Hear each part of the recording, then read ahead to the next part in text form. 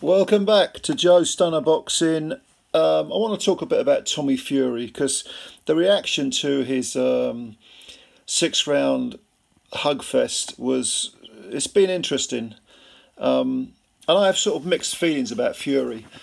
Uh, first of all, he's a novice, okay? He's a novice fighter, and the six rounds with KSI was absolutely unwatchable. It was terrible. I made a video a week or two ago about um, how influencer boxing, misfits, whatever you want to call it, isn't damaging quote unquote real boxing. And I stand by everything I said in that video because it isn't. It's a different audience. It's a circus act. It's a bunch of novices. It, it's basically, from what I saw of that missed that card, there was one fight with a Filipino guy who got ended up getting knocked out that I would I found okay. But the Logan Paul thing, which I watched intermittent, intermittently as I was doing other things, and ended up in a big big riot.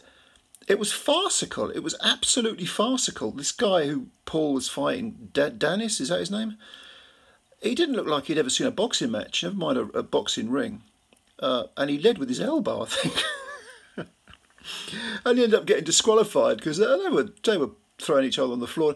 Look, this is not my thing. I thought it was junk.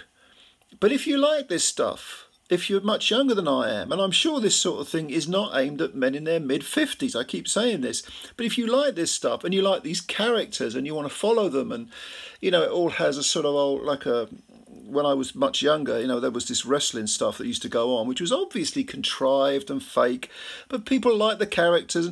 If you like all this stuff, that's fine. Go watch it, okay?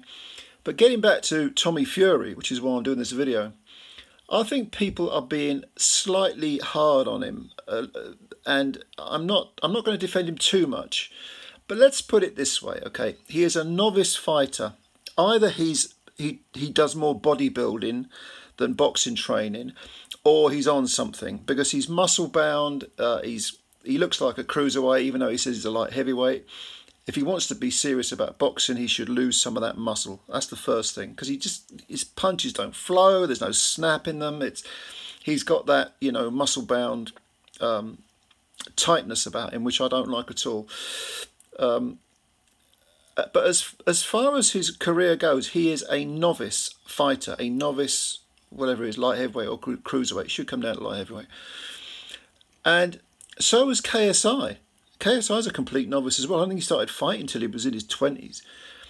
And so we put two novices together, and what do you get? You get six rounds of, of trash. I, have I mean I've seen you know novice fights, uh, hundreds of novice fights over the. I've been watching boxing for so many decades, and some of them are really entertaining. But sometimes, if neither guy can really fight that well, you do get this sort of scrappy there's a lot, a lot of mauling, and you know, it, and it seems to me that neither KSI, who started very late in the boxing ring, and Tommy Fury, who seems more interested in looking the part rather than being the part, um, neither of these guys is very well schooled.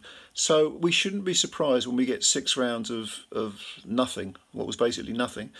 Um, but let's let's let's bear in mind that Tommy Fury, okay, he's got the opportunity to get into this little world of influencer, YouTuber, boxing, whatever it is, and make a ton of money, a ton of money with the sort, the type of figures which most novice fighters won't ever get a sniff at, which most actually world class fighters won't ever get a sniff at.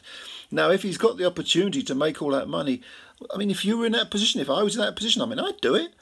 I'd, I'd go, yeah, fine, you know, I'll fight I'll fight these amateurs because after all, that is his level. Really, he's an he's an amateur. He's well, not an amateur. He's, I mean, he's amateurish. He's a, a, novice fighter, and he displays all the traits of a novice fighter. So if you put him in the ring and you say, "Well, I'll pay you," I don't know how much you got. Do you get about a million quid for for the two million for the Jake Paul fight? Well, you're going to turn it down? No bloody chance. He's got a young kid. He's got a missus. You know, he wants to settle his, you know, secure his family's. Um, his his child's um, future, and I don't think there's anything wrong with that. I don't. I mean, yeah, and he does talk a lot of crap and everything. He does, but he's a young man. You know, he was he 23. Christ Almighty, when I was 23, which is I'm going back, you know, over three decades. Uh, the amount of bollocks that came out of my mouth. I mean, I, I'm glad there weren't phones around and everyone was filming everything and recording everything then because I would be so embarrassed. And that's what I think when I see these young kids with their phones. I think if you're going to look back in 30 years' time, you're going to be embarrassed by all this crap. So I think Tommy Fury cut him some slack. He's all right. You know, it's it's it's just a bit of fun. This he's making a few quid. Younger people like all these characters, these YouTubers. Let them get on with it. I ain't got a problem with it really, not at all. So what, what's your opinion? Leave your comments below, and um, I want to hear your view. What do you think of Tommy Fury, and where do you think he's going? Because that's an interesting thing. I think he'll still stick in this YouTuber influencer thing. But let me know what you think.